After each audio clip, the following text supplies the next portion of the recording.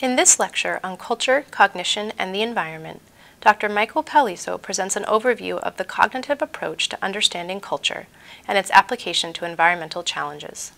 He starts by noting that there are many definitions of culture and that the cognitive approach to understanding culture uses concepts like taxonomy, cultural domains, prototypes, cultural models, and cultural consensus to explain shared human decision making and understanding. He uses the example of the Pfiesteria outbreak in the Chesapeake Bay as a research project to which these approaches have been applied, and he overviews the analytical tools used. He then uses a second example of farmer perceptions of land conservation to explain the cultural model methodology, which uses empirical data to build a schema that highlights shared understandings and motivations of farmers. He also uses the example of oyster restoration to elaborate on the culture as distributed knowledge approach, which seeks to characterize within group variation in cultural consensus and to identify the linkages among different cultural concepts. Finally, he discusses the opportunities and motivations in anthropology for linking culture, cognition, and the environment. I'm going to focus on a cognitive environmental approach and give you some uh, principles and as well as some show you some data and talk with you about what that produces. As I mentioned yesterday, I'm very interested in culture. And uh, within our discipline of anthropology, culture, um, there are some people who don't problematize it, and other people who critique it, other people who use it um, somewhat loosely, and um, I'm very interested in using it quite specifically.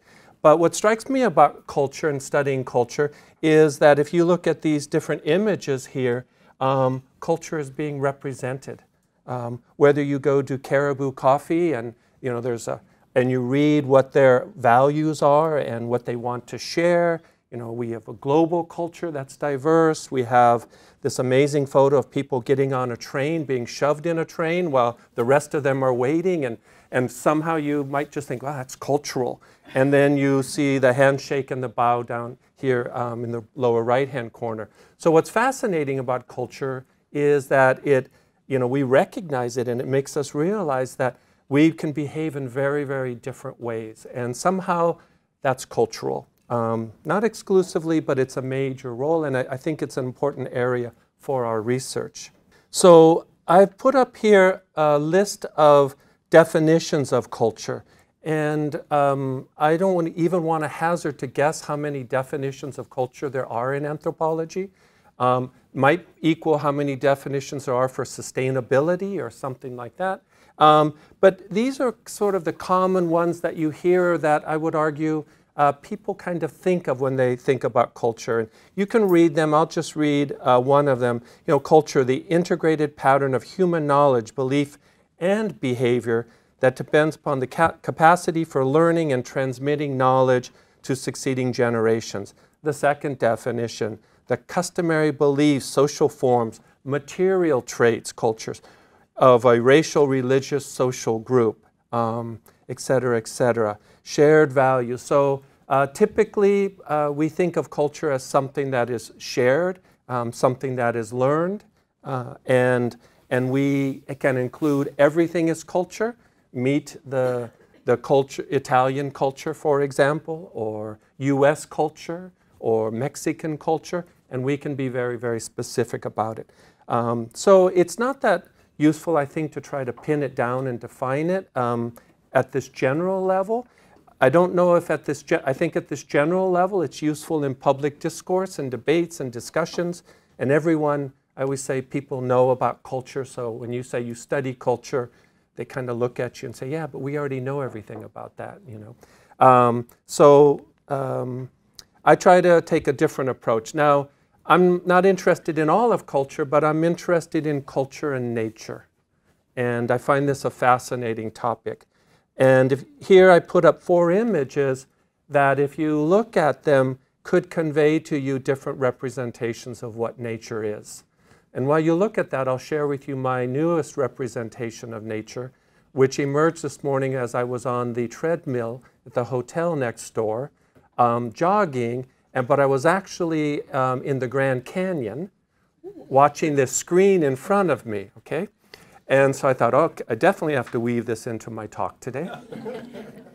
and so I pushed it a little bit. Okay, obviously, I know I'm on a treadmill, I'm sweating, I'm getting tired, um, And uh, I'm following this trail through the Grand Canyon, and I notice other people are there and all of that.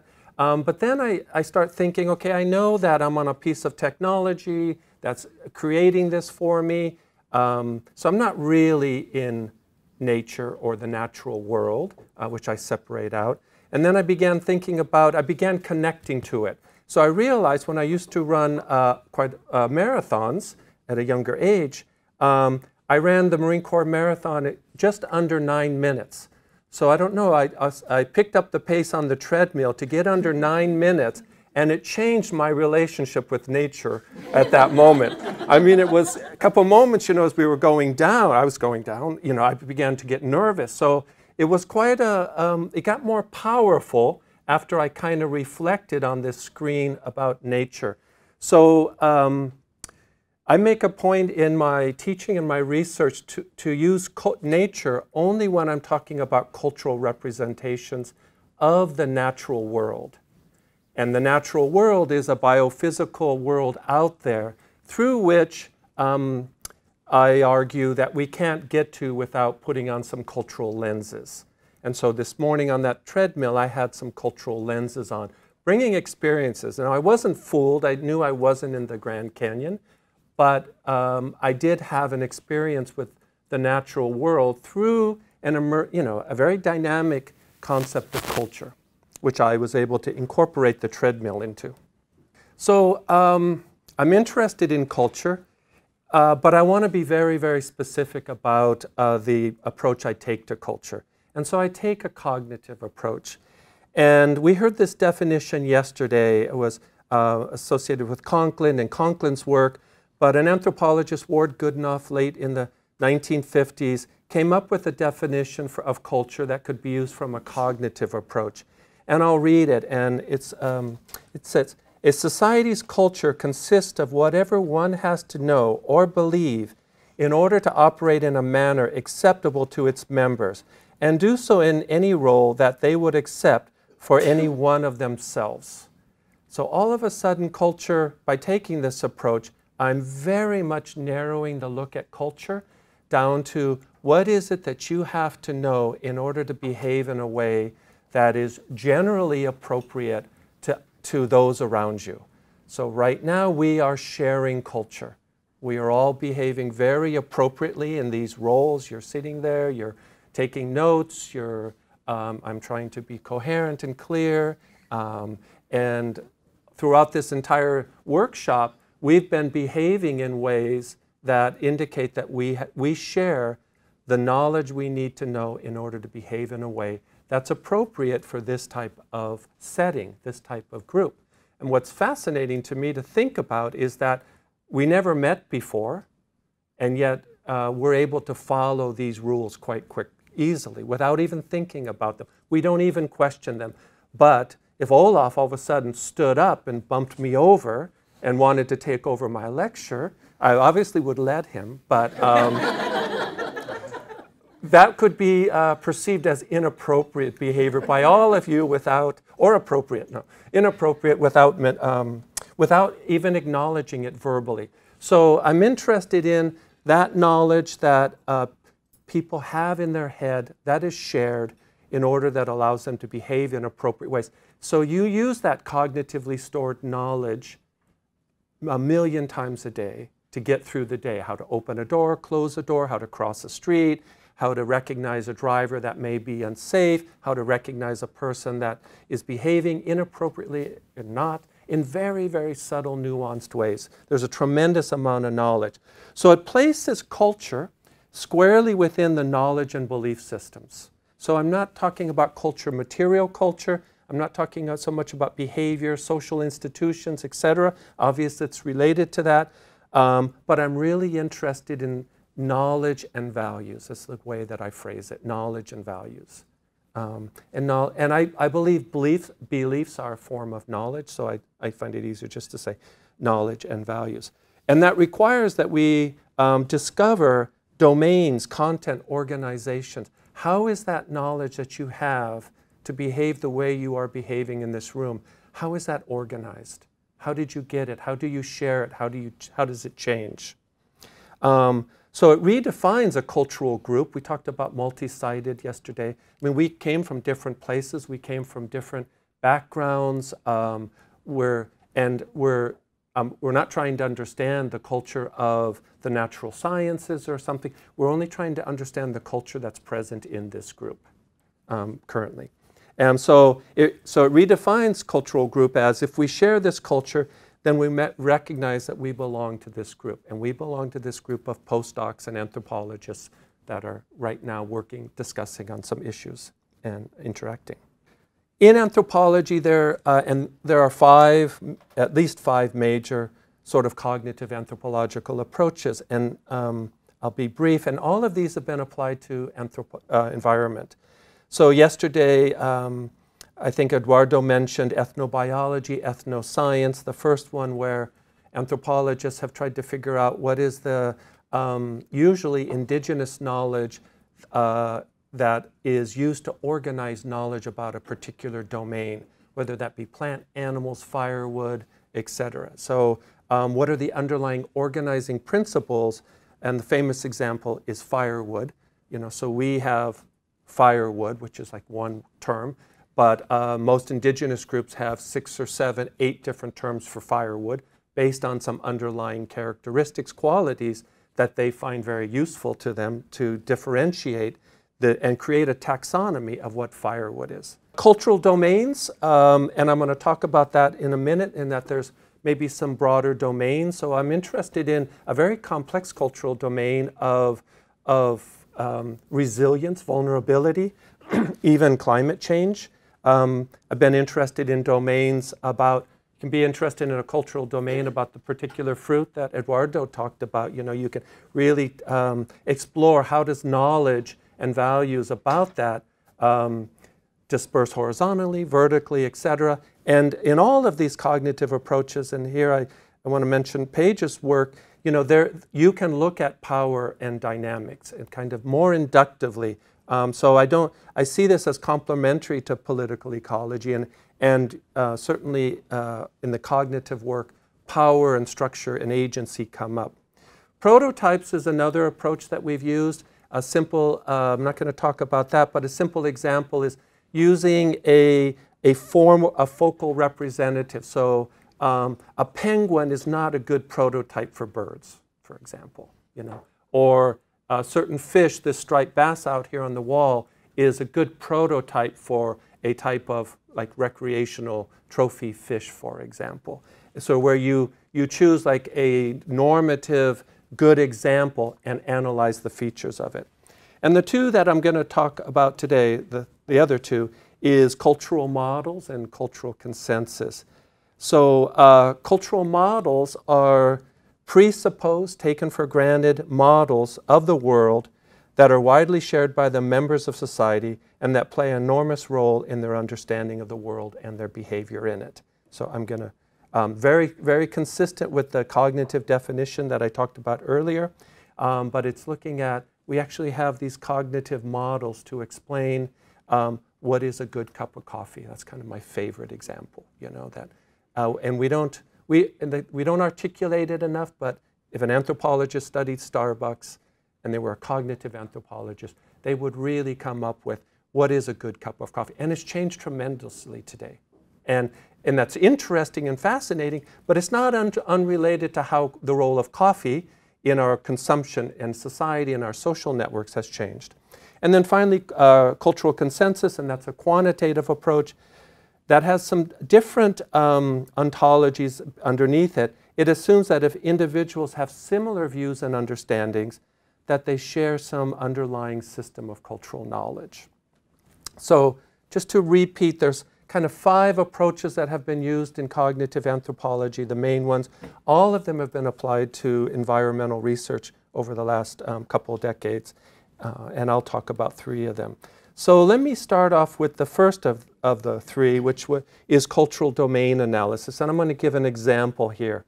So um, back in around 2000, late 1999, 1998, on the Chesapeake Bay, there was a harmful algal bloom called Pfiesteria. This coincided um, with my arrival at the University of Maryland. And I, and I arrived there and had previously only worked internationally, and I'd been working in Honduras. And, um, and I, it was late summer. There was this harmful algal bloom. It was called Pfiesteria, and it went wild in the press. And it got picked up by the public, and people were hysteric about it, and people were uh, became a household word. It was also happened during a low news cycle. It was August, uh, you know, and um, it. I was so impressed with how cultural it went so quickly and in such a complicated way. It was also an election year. So um, Pfiesteria, um, one of its effects is it can cause lesions on menhaden. And this, and it was, could also cause, we, we thought, um, short-term memory pro um, problems with commercial fishermen. So this was beginning to build a narrative that people were grabbing onto. People stopped eating seafood you know, around the region, whether it came from the Chesapeake Bay or not. It happened in a very, very localized area. So there was all this hysteria around Pfiesteria, and they started calling it the cell from hell, um, etc. And it was, it was wonderfully rich for a new anthropologist in the area. And, and that was my, um, uh, one of my turns that I decided, okay, maybe we should study this. Interestingly, I'd come from a nonprofit where when we saw a good research topic, we just jumped on it. So it wasn't a good, it was a good tenure track move in hindsight, but it did give my advisor like some sleepless nights that I was leaving Honduras to start a whole new research project on the Chesapeake Bay, and I would need to come up for tenure within six years. Okay, so um, Pfiesteria was really great. And it had some political influences because um, environmental groups, and I'll overstate this with apologies, um, used the um, Pfiesteria was perhaps linked to uh, excess nitrogen in the water, and that was from agricultural runoff. And prior to this, uh, prior to Pfiesteria, Maryland had voluntary nutrient management plans by farmers. Um, this allowed or facilitated, made easier the push to have sort of mandatory nutrient management plans on farmers at the state level um, which has you know, been good and bad and controversial, et cetera. And so what we were interested, myself and some students, um, how did farmers and environmentalists, how did they come to understand Pfiesteria? You know, were they so different and all of that? So a great, great, you know, anthropological problem. So, um, so did they really view Pfiesteria similarly or differently? That was our question. So one of the tricks, tricks, I said it, tools we used um, was a free listing. So in order to try to not quote bias and be as inductive and, and step back, we simply asked people to list the words that come to their mind when they hear the word Pfiesteria. And um, so people, we got these long lists, etc. Um, but 19 terms were, had high salience, whether they were repeated with some frequency or they were repeated early on in the list, higher than lower. And these are the terms that came out. Chicken houses, environmentalists. Chicken houses on the Maryland Eastern Shore was, is the orig origin of industrialized poultry production. And manure is used to fertilize. Manure is high, uh, particularly in phosphorus, but also nitrogen. Um, so manure was being applied. So chicken houses, environmentalists, fish kills, development, farmers, government, economic impact, health impact, manure, uh, media, nutrients, politics, pollution, poultry industry, regulations, research, sewage, water quality, and watermen. So these were the 19 terms that, that we filtered out of our free listing with a sample of environmental professionals and, and farmers. What did we do next? We created a triadic comparison exercise. Um, and in this exercise, if you take that first row of sewage, media, and research, your task is to circle the one word that is least similar to the other two. So what I'm looking for is similarities and differences. So anyone just say, sewage, good answer. So sewage you circle out. Um, but some people might not circle, they might circle out research because they think the media is sewage, you know? and, um, or farmers, nutrients, and government. Um, you know, nutrients, okay? So the point is that we get, we pick up some variability in what people are saying. And our goal is to, for this domain of Pfiesteria, which is uh, quite a big domain, can we tease out any sort of uh, patterns in what people see as similar and different? So this is a very effective um, exercise to do. You can do it really quickly, and it produces um, some results. that look um, scientific. I'm hedging my bets here. So um, this is a, a, a, very fun thing to do with um, nominal data uh, that's been collected from free listing pile sorts, paired comparisons, some other things that we've used. And um, this is a two-dimensional plot, multi-dimensional scaling. Um, it's called correspondence analysis, where we take the individual responses and we plot them in a two or three-dimensional space and see how they cluster. Now, terms that are closer together mean that people saw them as more similar. So in the bottom right-hand corner, you see poultry industry, farmers, and chicken houses. You know, kind of makes, makes sense. And in the upper right-hand corner, you see sewage, water quality, pollution, fish kills, etc. Um, and in the middle, you see research, regulations, environmentalists.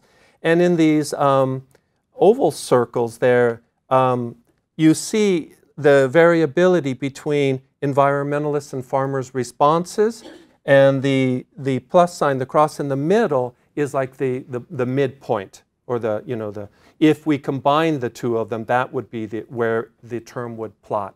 So this allows us to kind of see that in fact, in a, the underlying cultural domain, farmers and environmentalists are not that different in terms of how they're uh, uh, drawing upon cultural information to understand Pfiesteria, which was counter to the discourse that was uh, in, the, in the media at the time, which indicated that farmers and um, environmental professionals were locking head. That doesn't mean that they weren't at, in opposition, because there are some political and economic factors here, but that, um, that those disagreements that they were coming up with, they were drawing upon some shared, more shared underlying um, information than we might have thought before. That doesn't mean they don't disagree on things. And that you notice things like media, politics, and government are out here to the bottom left and by themselves, which means people couldn't consistently know where to place those terms. Okay? So we use these plots to analyze, to um, interpret, but also to bring back for more conversations.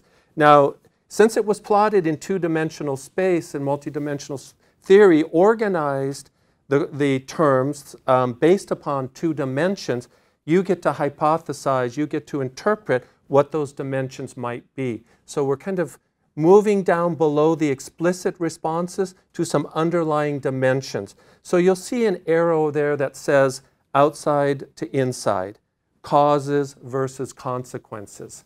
So you could interpret this, and we, you could come up with some others as well, but you only get two because it was plotted in two-dimensional space. So this is a first attempt to maybe suggest that even below the explicit agreement and disagreement, there are some underlying themes that people are using to organize these terms. They're organizing on things that are local or regional that happen within their area, or things that come from outside, the local versus non-local, causes versus consequence. And these arrows can go in diagonally as well. So it's um, interpretive, anal it's uh, analytical. These, this stress to be val or this plot, in order to be valid, it has to um, be plotted spatially very similarly to the um, correlations in the agreements and disagreements that you'd have in a basic numerical table. So there's a stress to this plot. And if you get too much stress, then you can't trust the validity of the visual. So that's a, a very easy sort of cognitive environmental approach that we take.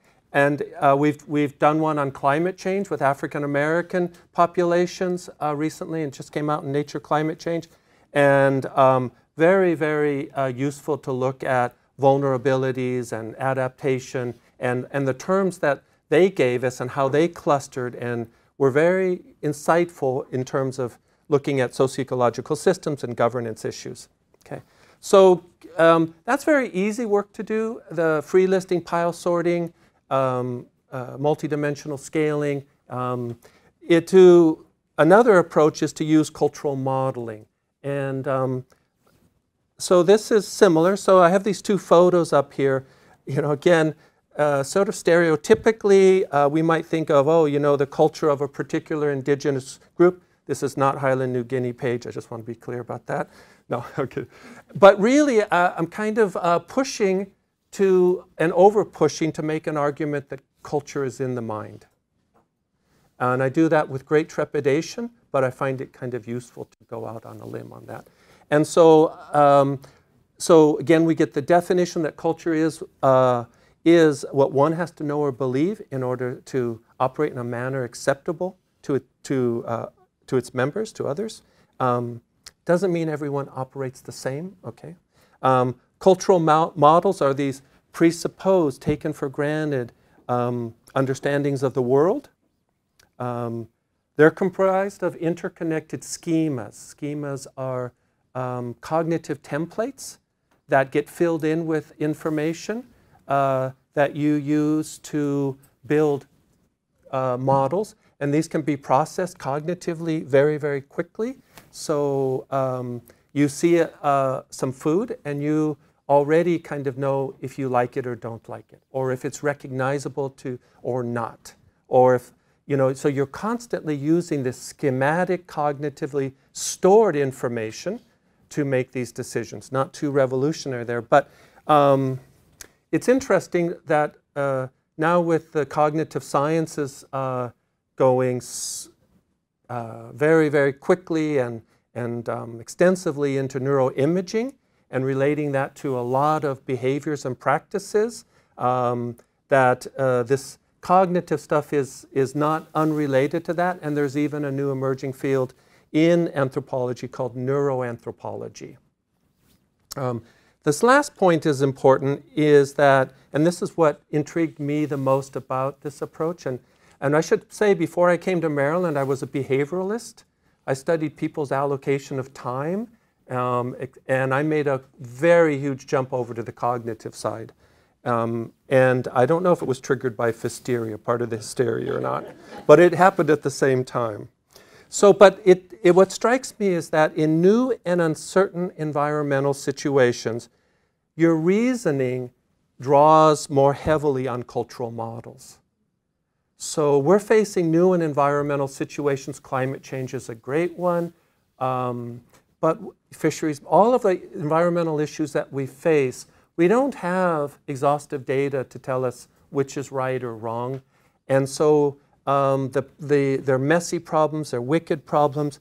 Um, I'm very interested in what is the existing cognitive knowledge that people draw upon to understand those problems.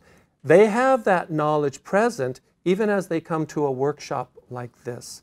So the postdocs here the anthropologists here, we have a lot of cognitively stored knowledge about our expertise that is present in the room. And I we saw it yesterday in, in the questions that were asked. And I, I think I speak for all the anthropologists. We felt, wow, this is pretty intense.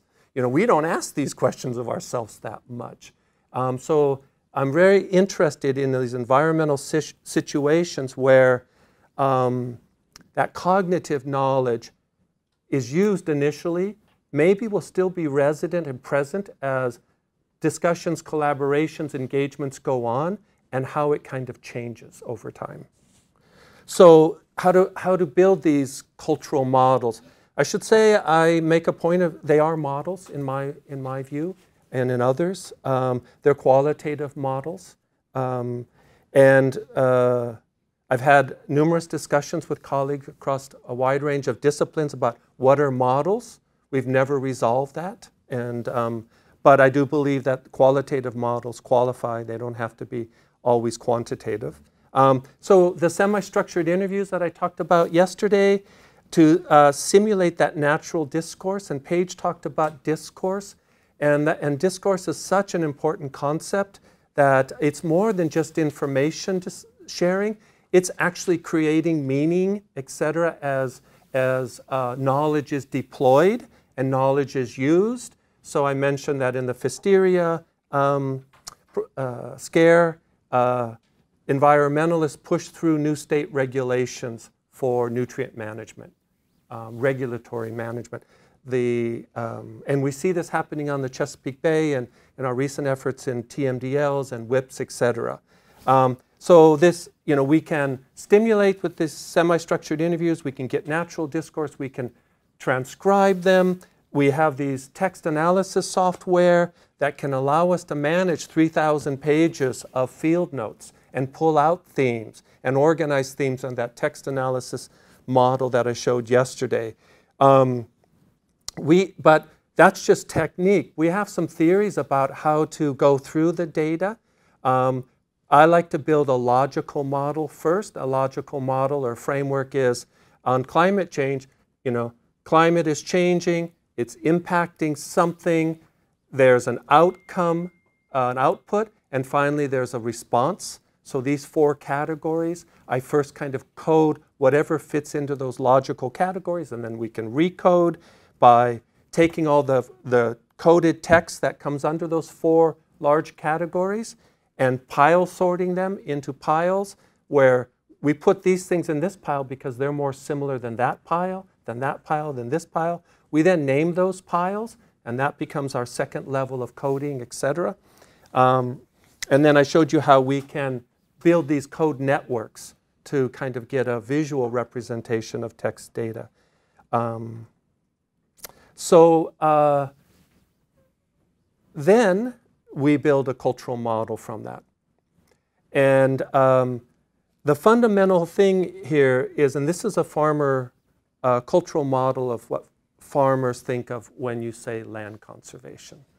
And so we had all of these processes that I talked about, and um, we had we had this text all coded, and then the next qualitative ethnographic question, drawing upon your participant observation, and it's the most important part and the most difficult, is what is it that they have to, to know in order to make all these statements that we've now put into categories. So we're moving from the explicit, what people to told us, we've coded it into categories, and we ask then this one next step, which makes it cognitive.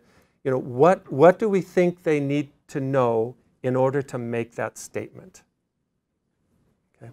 And so we then, and that creates schemas around like what is an easement, a, a land easement? You know, what is profitable agriculture? What is farmland and rural landscape? So this, there's a lot of text that goes with this model, but here's a simple schematic of it. So in the Chesapeake, around this area, um, farmers are involved in a lot of land conservation. We have land trust programs um, that are um, trying to put a lot of land into conservation easements to stop development, slow down development, particularly in vulnerable, um, biodiverse, valuable areas. Um, and so their fundamental tool to do that is to put uh, farmland into conservation easements. And these conservation eas easements are in, in, perpetuity. So a farmer will sign an agreement to take this land here and put it in a conservation easement he or she can no longer farm that land, okay? Well, they can farm the land, but they can never sell the land. They could never sell it to a developer, okay?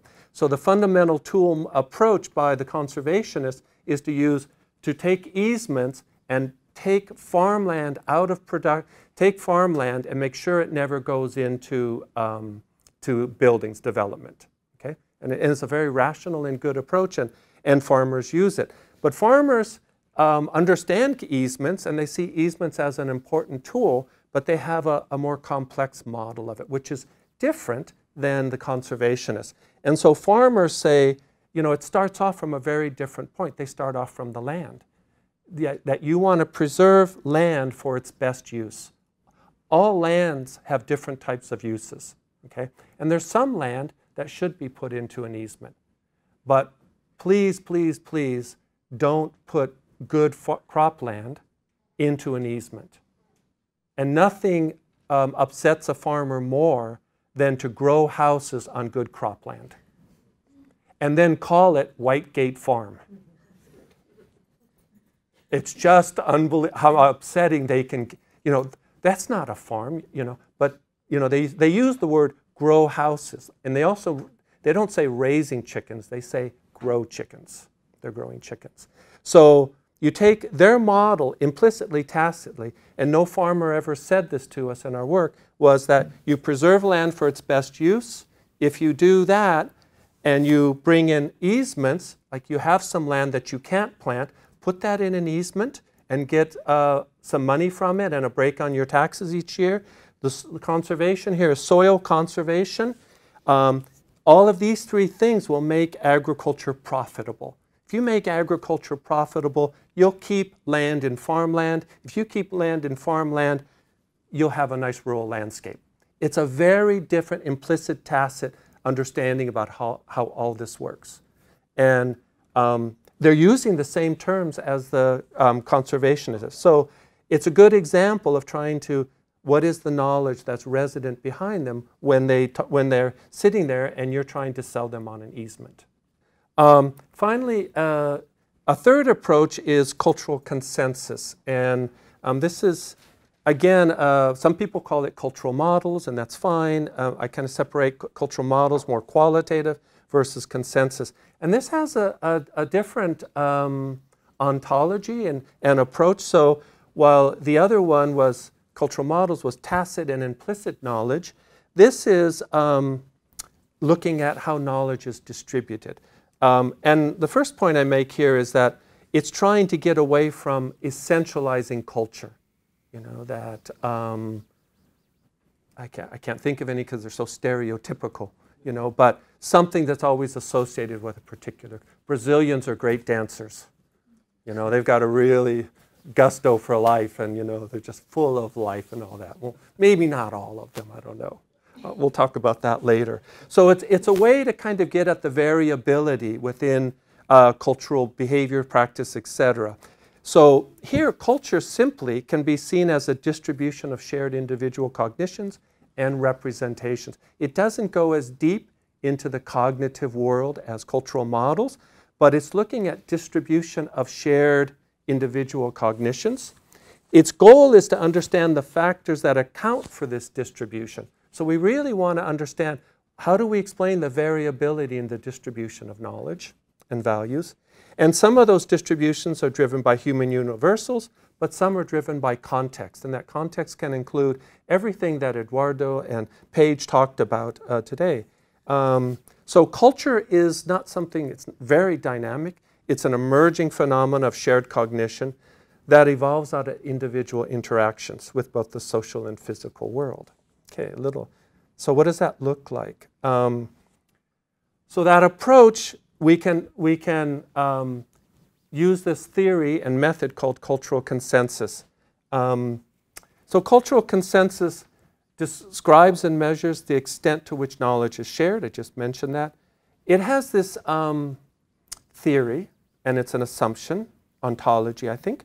It assumes that the correspondence between any two answers is a function of the extent to which each is correlated with some underlying truth or knowledge. So that if Olaf and I answer the same way, the assumption to be tested is whether we are sharing some underlying knowledge.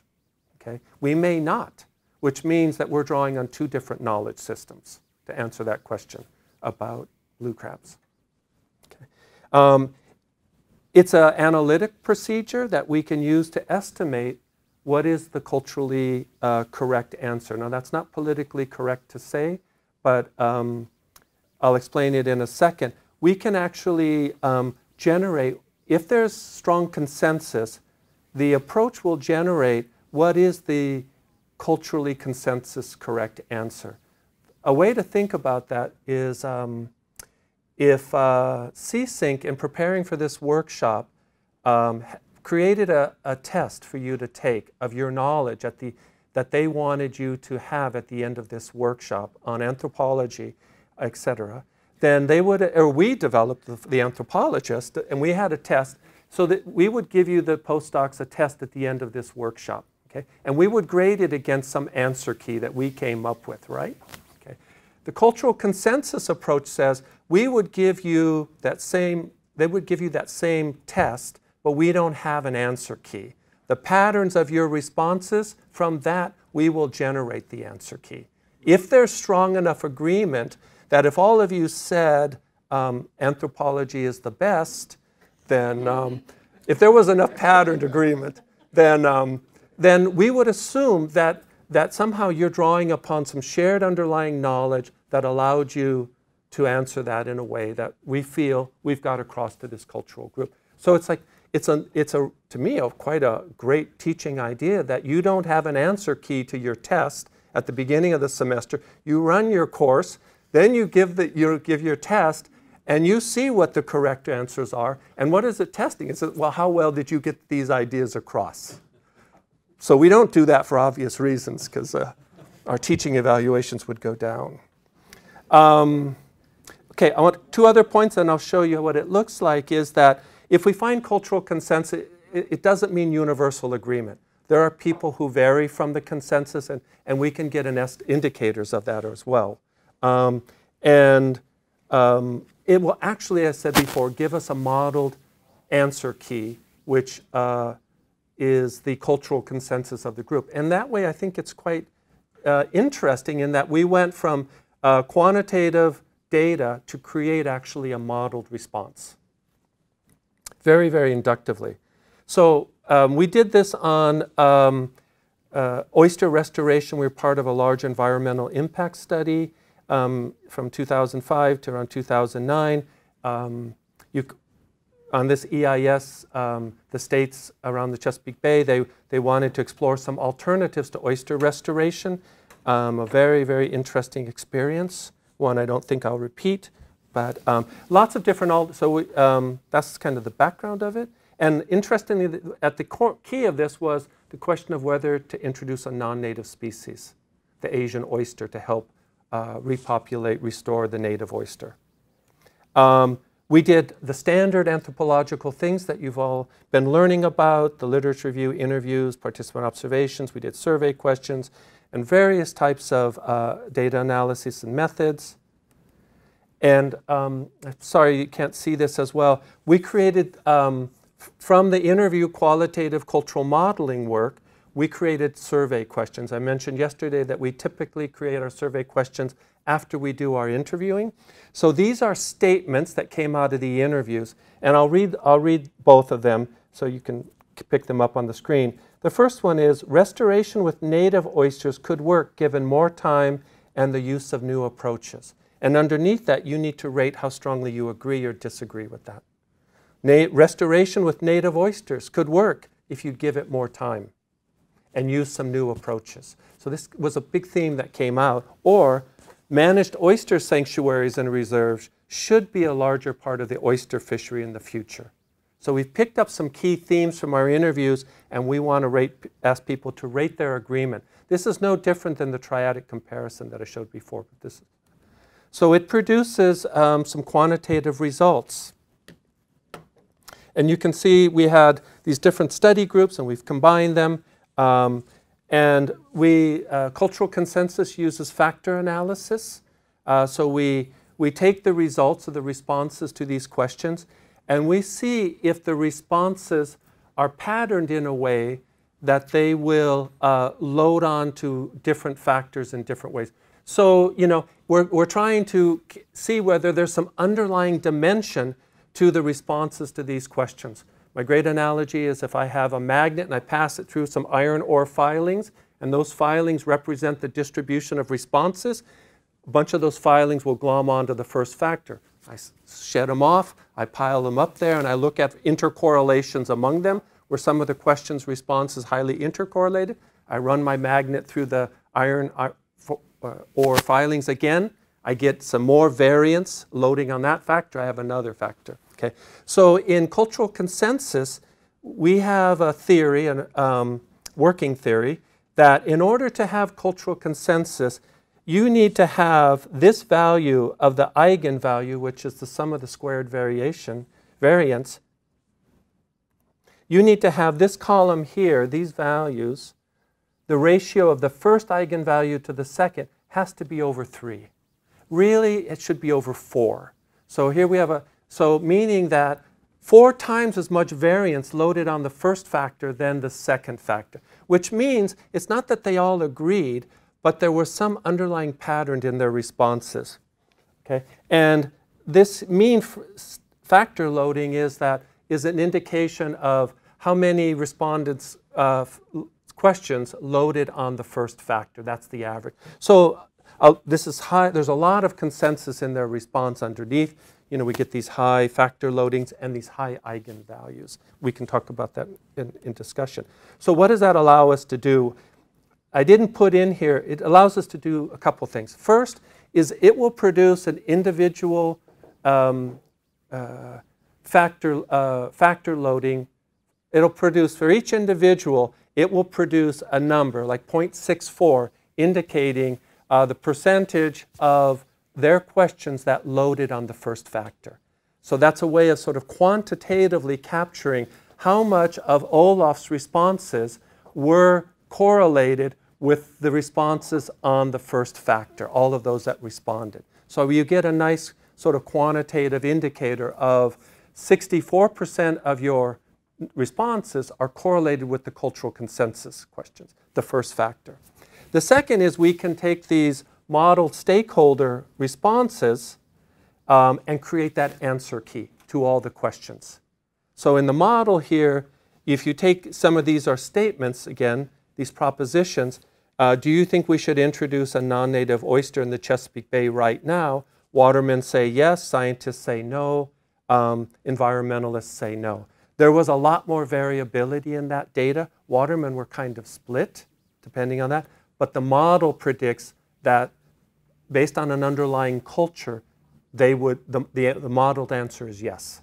And ethnographically, that makes sense to me. But if you look at the descriptive frequencies, um, there's variability, a lot of variability. So we can look at the key statements and propositions that seem to make groups similar or dissimilar. And it's, a, it's, it again is that modeled answer key that came out of cultural consensus. So why link culture, cognition, and the environment? Um, I think it uh, sharpens and refines our understanding of interactions between people and the environment. I don't often, you know, I encourage my students to do cognitive anthropology, but I'm also very happy if they pull up a little short and do just good ethnography. It really sharpens, if, to build these models qualitatively, quantitatively, you really have to work hard with the data and be very, very careful. Um, I think it produces good ethnographic insights. Um, I believe it, it gives us one look at core and emotive knowledge and values about the environment. Um, I can tell you lots of examples how I think uh, these are like core themes that commercial fishermen have that when you talk with them about managing a fishery, it is always in a room with them. And you know that's come through our work. And so my, my goal is to kind of dredge that up and make that more explicit in the conversations. We can do the multi-sited and intergroup. You know, we had various stakeholders there. Um, and it, and it, does, um, it can sort of inductively, it can get at the social, economic, political, environmental factors. It benefits from political ecology. It benefits from broad socio-environmental synthesis and, and even the evolutionary ecology uh, work, behavioral ecology work. So I see it as a really um, very focused, hard attempt at doing inductive ethnography within and across groups. It works, it gets even better when it's linked with these other uh, foci in anthropology. Okay, and uh, that's it. Okay, thanks.